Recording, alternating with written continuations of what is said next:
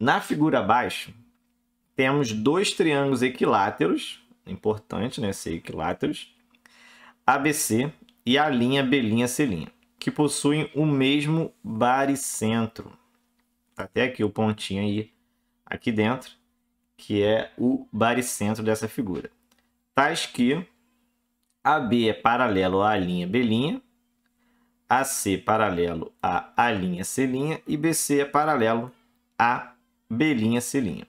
Se a medida dos lados de ABC é igual a 3 raiz de 3 e a distância entre os lados paralelos mede 2 centímetros, então a medida das alturas de A', B' e C' é igual a quanto?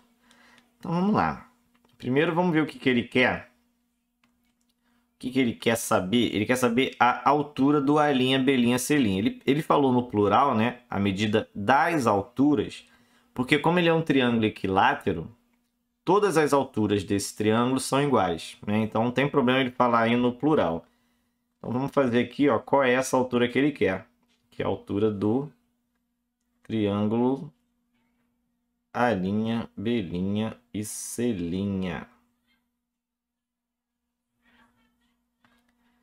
Tá? Não vai ficar perfeito, mas já deu para dar uma ideia aí. Quem é o nosso nossa altura aí, tá? Então essa vou chamar aqui de H2, tá? Essa aqui vou chamar de H2, que seria a altura do segundo triângulo, tá? Então vou chamar de H2. O que, que a gente tem? A gente tem é, o lado do triângulo menor. Então a gente tem isso aqui, ó. Que vale 3 raiz de 3. Vou dar um zoom aqui. E a gente tem ó, a distância entre os lados paralelos, que é 2 centímetros. Né? São 2 centímetros aí de distância. Então, esse pedacinho aqui, 2 centímetros. Tá? É... O que, que eu vou fazer aqui com esse problema? Eu vou usar um pouquinho aí de Pitágoras, né, para resolver, trigonometria e semelhança. Só, vou usar tudo isso. Então, qual é a minha ideia? A minha ideia é usar esse baricentro que ele pegou aqui e fazer o seguinte, ó.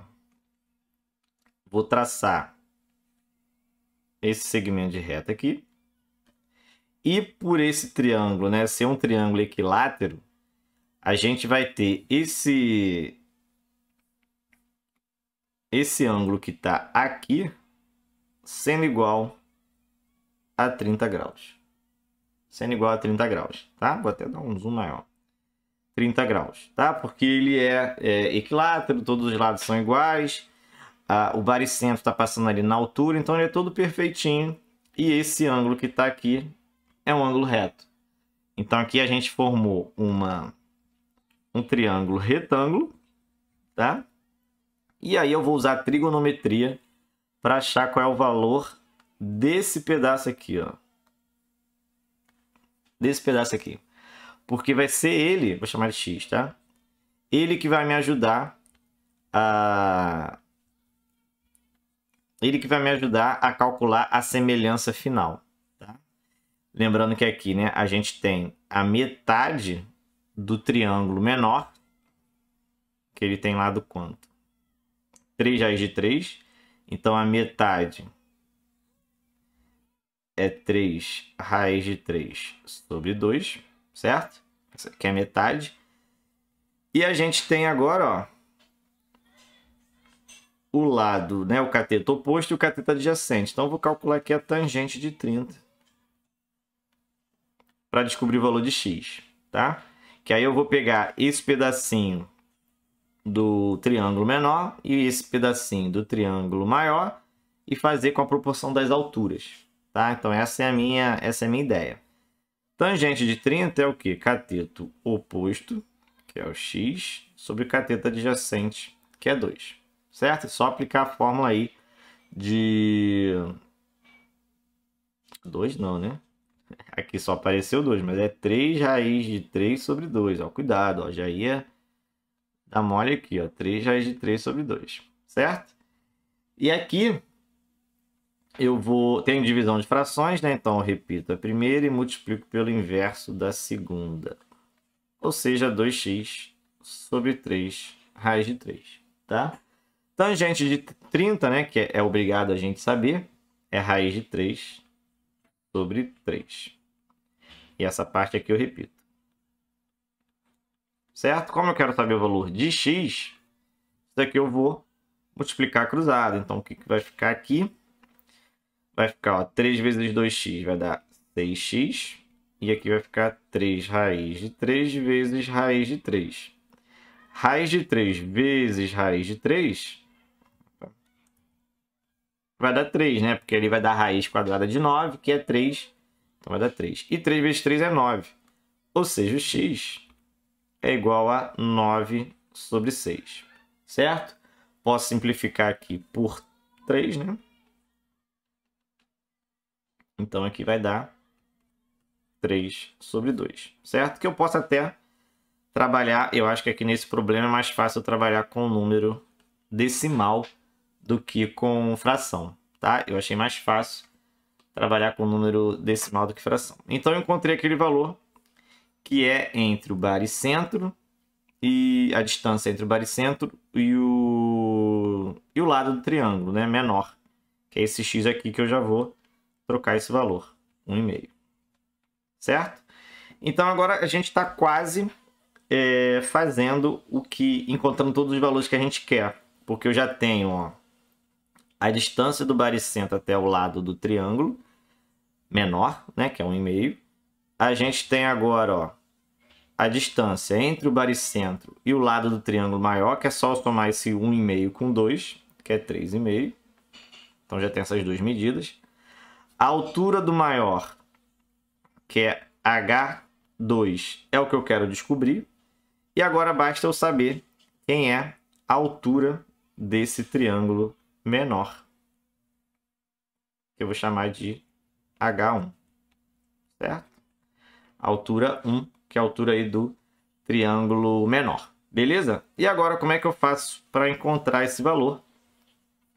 Deixa eu pegar esses cálculos e botar para o lado, né? Porque esse aqui a gente já usou. Vou passar aqui para baixo, tá? E vou fazer agora o cálculo desse de, dessa altura. O que, que eu vou fazer agora? Eu vou fazer Pitágoras, tá? Nesse triângulo aqui, ó. Nesse triângulo todo aqui, ó. Certo? Por quê? Porque eu tenho aquele 3 raiz de 3 sobre 2. Eu tenho esse lado aqui, que é o lado do triângulo menor, que foi dado no problema. E a altura 1 é o que eu quero descobrir. Então, eu vou pegar, ó, 3 raiz de 3 ao quadrado, que ele é a hipotenusa, né? Está oposto aqui ao ângulo reto. Eu tenho 3 raiz de 3 sobre 2 ao quadrado, mais ao H1 ao quadrado. Beleza? É, e agora é fazer essa, esses quadrados aí, ó. Então vamos lá, ó. 3 ao quadrado é 9, vezes raiz de 3 ao quadrado é 3. Aqui a gente tem a mesma coisa, né? Porque é o mesmo 3 raiz de 3, então é 3 vezes 9 vezes 3. E 2 ao quadrado é 4. Falei que essa questão ia dar um pouquinho de trabalho, né? Mas estamos quase acabando. Depois da a, a razão ali de semelhança é rapidinho. Ó, então aqui eu vou ficar com 27, certo? 9 vezes 3, 27. Esse 9 vezes 3 sobre 4 Vou passar para o outro lado logo, vai dar 27 sobre 4, igual H1 sobre 2. Beleza? O é, que, que eu vou fazer aqui? É, posso multiplicar, né? 27 vezes 4, que vai dar 7, 14, 21, 28. 8, 9, 10. 108 menos 27 sobre 4. Beleza? E aí, 108 menos 27 vai dar 90, 88, 81. Olha só que bonito, olha só que bonito, hein? Não dá uma felicidade ver assim números quadrados perfeitos? Porque agora eu vou tirar a raiz quadrada. Então, H1 vai ser igual a 9 sobre 2, que é 4,5. Olha só que maravilha, 4,5. Então agora eu já tenho todos os valores que eu quero para fazer a nossa, nossa semelhança. Vamos lá, ó. Deu 4,5 esse H1 aqui. Eu já vou trocar aqui por 4,5. Certo? Então aqui, ó, eu vou apagar o que eu não vou usar agora, ó. Vou apagar isso aqui que eu não preciso mais. Isso aqui eu não preciso mais. Belezinha. Belezinha. Então o que, que eu vou fazer?